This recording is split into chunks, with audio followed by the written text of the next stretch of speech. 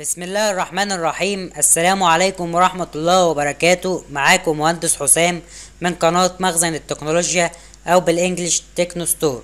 النهاردة بإذن الله في رابع درس لينا في دورة تعلم الفوتوشوب اللي بنقدمها من خلال القناة بتاعتنا.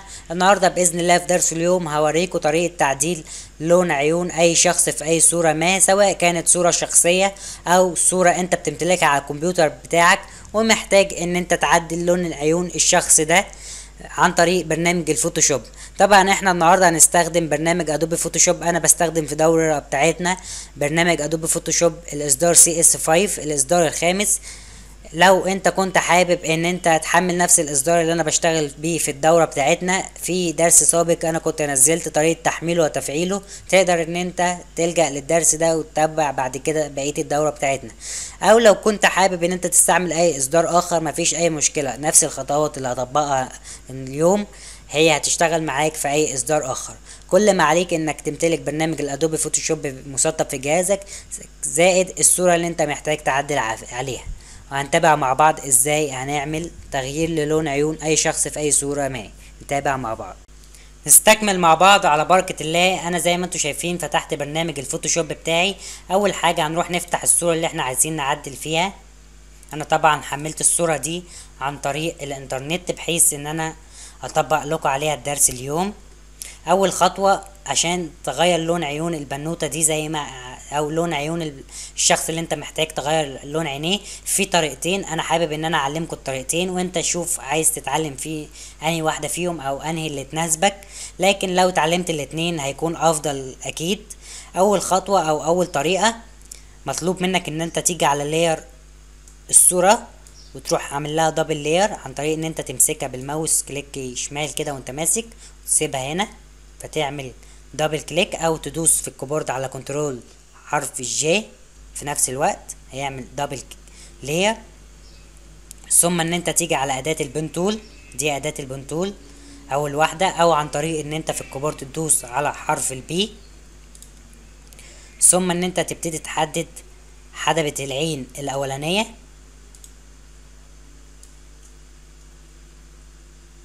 بالمنظر ده. أنا طبعا التحديد بتاعي هحاول يكون متقن على قد ما أقدر لكن أنا بعمل بسرعة عشان وقت الفيديو. لكن أنت هيبقى معاك الوقت كله معاك براحتك تقدر تحدد بشكل أتقن.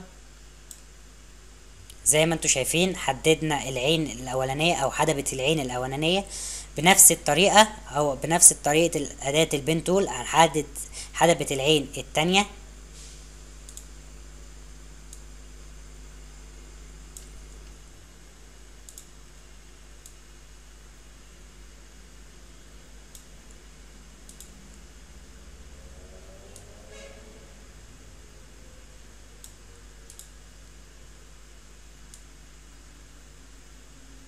بالمنظر ده زي ما أنتوا شايفين هنا أنا حددت العين الأولانية ثم حددت عن طريق برضو ال pen tool العين الثانية.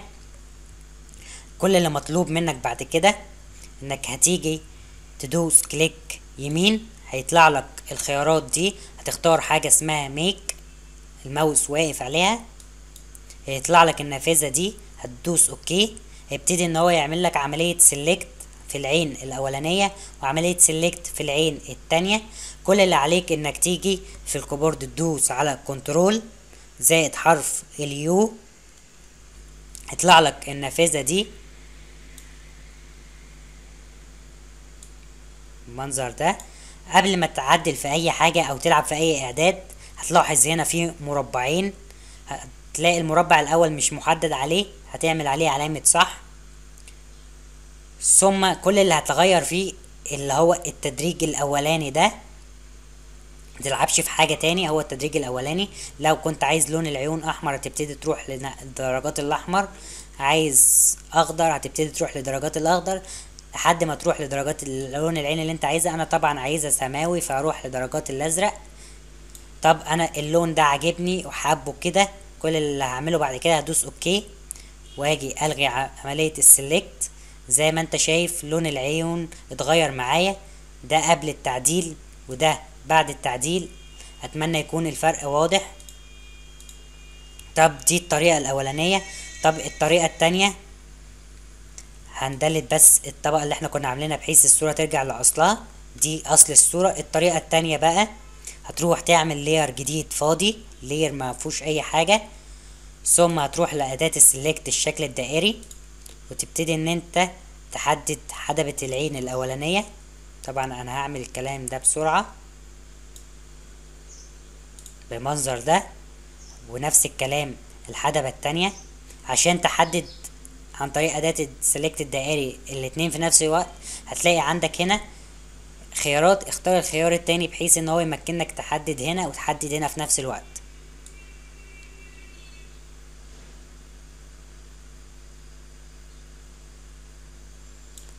زي ما انت شايف أنا هنا حددت العين الأولانية ثم رجعت حددت العين التانية. بعد كده هروح أختار الفرشة بتاعتي أداة الفرشة. أختار أي فرشة المهم تكون كبيرة. وابتدي أروح أختار أي لون أنا عايزه. أنا هنا فضلت أختار اللون الأخضر مثلا بما إني جربت اللون اللبني في الطريقة الأولانية. وتبتدي إن أنت تحط اللون بتاعك وتلغي عملية ال select بالمنظر ده ثم هتيجي هنا على mode ال layer هتختار السهم ده لو دوست عليه اسمه mode ال layer هيطلع لك خيارات كتير كل اللي يهمنا إن أنت تيجي هنا على الخيار ده وتروح محدده. وبعد كده هتيجي هنا في الكواليتي تخليه خمسة وخمسين.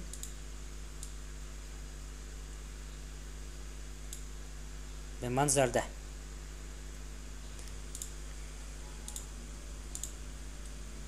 زي ما أنتوا شايفين ده قبل التعديل وده بعد التعديل. زي ما أنتوا شايفين كمان الطريقتين شغالين ومفهومش أي مشكلة. دي ناجحة ودي ناجحة. طب إيه الفرق بينهم؟ الفرق ما بينهم إن الطريقة الأولانية أكثر إتقان لأن ال pen tool بتخليك تحدد الحدقة بشكل أتقن وبشكل أفضل. عن ما أداة ال select الشكل الدائري بتحدد لك.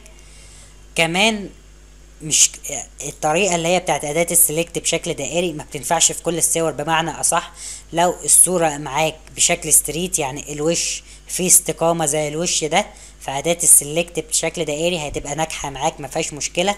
طب لو الشخص اللي أمامك اللي أنت عايز تحدد له العين واخد زاوية ما بنظرة عينه واخد آه اتجاه باتجاه وجهه يمين شمال. في الحالة دي هتحتاج إن أداة البين تول عشان يكون التحديد أكثر إتقان وواخد الدرجة بتاعت الحدقة بشكل أوضح وبشكل أفضل. ده الفرق ما بين الاتنين. أتمنى يكون وضحت الرؤية. وده كان درس اليوم. أتمنى يكون الجميع استفاد معايا. أخيرا لو أنتوا استفدتوا معايا بدرس اليوم ما تنساش إنك تدعمنا وتدعم الفيديو ده بإنك تدوس له تحت like كمان لو أنت حابب إنك تتابع معانا ما هو قادم من دروس جاية ما تنساش إنك تعمل لنا subscribe وتشترك في القناة عشان تتابع معانا الدروس القادمة. أخيرا أتمنى اشوفكم على خير وإلى اللقاء في درس قادم. والسلام عليكم ورحمة الله وبركاته.